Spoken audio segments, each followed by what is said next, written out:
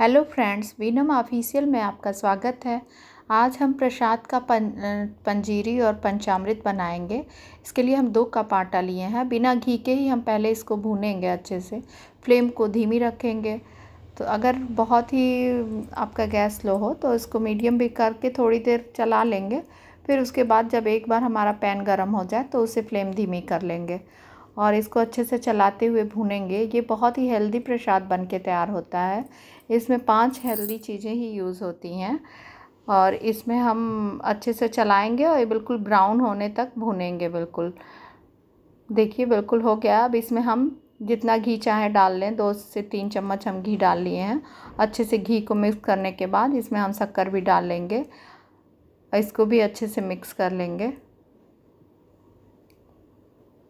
इसके ऊपर से हम फिर कटे हुए ड्राई फ्रूट्स रख लिए हैं काट के। नारियल, थोड़े से काजू, थोड़े से बादाम, थोड़ी किशमिश सबको आपस में अच्छे से मिक्स कर देंगे। बहुत ही परफेक्ट और टेस्टी और हेल्दी हमारा चूरन बन के लगभग तैयार हो गया है। अब इसको हम सर्व कर लेंगे एक कंटेनर में और उस पर हम डेकोरेट कर लेंगे। आप मन चाहे स्टाइल से अपने सजा सकते हैं इसको। हमारा चूरन बन के तैयार हो गया। अब हम पंचामृत बनाएँगे। पंचामृत भी बहुत ही हेल्दी होता है और इसके लिए हम पाँच चीज़ों का यूज़ करते हैं। दूध, दही, शहद, घी और ड्राई फ्रूट्स अलग से एक्स्ट्रा आप डाल देंगे। हम दो पैकेट दही यूज़ कर रहे हैं और आधा कप के करीब शक्कर यूज़ करेंगे।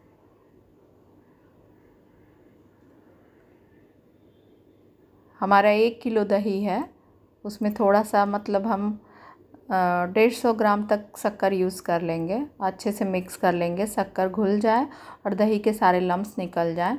फिर इसमें हम तेल मखाने को भिंगा के रख लिए थे और ड्राई फ्रूट ऐसे ही सूखा काट लिए थे। सारी चीज़ों को डालने के बाद अच्छे से मिक्स कर लेंगे। मखाने को पहले से भिगाने से हमारा पंचामृत फटाफट बन के तैयार हो जाता है। और इसको बनने में टाइम नहीं लगता है और शक्कर को अच्छे से मिक्स कर लेंगे। देखिए, पंचामृत बन के तैयार हो गया है। आपको हमारी रेसिपी अगर अच्छी लगी होगी तो चैनल को सब्सक्राइब कीजिएगा, वीडियो को लाइक कीजिएगा और कैसी बनी कमेंट में ज़रूर बताइएगा। देखिए, बिल्कुल अब इसमें लास्ट में हम शहद और दूध यूज़ करेंगे। और थोड़ा सा घी डालेंगे। घी बहुत नाम मात्र डालना है, सिर्फ़ हमें पंचामृत में पाँच चीज़ें होनी चाहिए, इसीलिए घी को डालना भी ज़रूरी होता है। और कच्चे दूध का यूज़ करते हैं। आपके पास अगर कच्चा दूध हो तो वो भी लास्ट में जितना आप डालना चाहें, चार से पाँच चम्मच तक डाल के आप मिक्स कर लें अच्छे से। और तुलसी दल तो लास्ट में पूजा टाइम में पड़ता ही है तो इसलिए आप उसको चाहे तो पहले से भी डाल सकते हैं।